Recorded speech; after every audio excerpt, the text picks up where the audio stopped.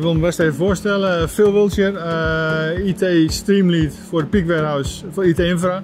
Mijn werkgever is een externe, dus ik, werk zelf niet direct voor Bol, maar uh, voor MoveBeyond. Mijn verantwoordelijkheid binnen het Peak Warehouse, ligt in het verlengde van IT Infra. En daarmee moet ik zeg zorg dragen voor de juiste aankoop, plaatsing en werking van kantoorautomatisering, van devices die je nodig hebt voor op je, voor op je werkplek, uh, voor op stations, voor alle databekabelingen en wifi-punten die daarbij horen. Om straks een operatie voor andere partijen die betrokken zijn in het project, of nou processen of uh, IT-software, dat die straks hun werk kunnen gaan doen op een uh, veilige, nette manier en lekker soepel.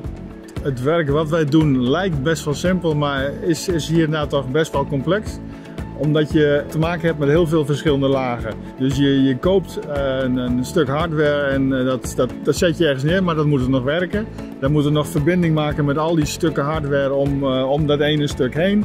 je moet ervoor zorgen dat, dat de partijen dat die allemaal betrokken zijn. Als je het bijvoorbeeld hebt over een kaartlezer.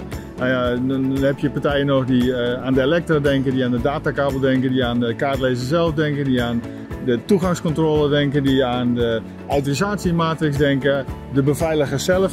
Dus dan kom je een stuk of 15 partijen terecht die alleen maar rondom dat ene kaartlezertje zitten. Dat maakt het best wel spannend en complex op, eh, op sommige momenten.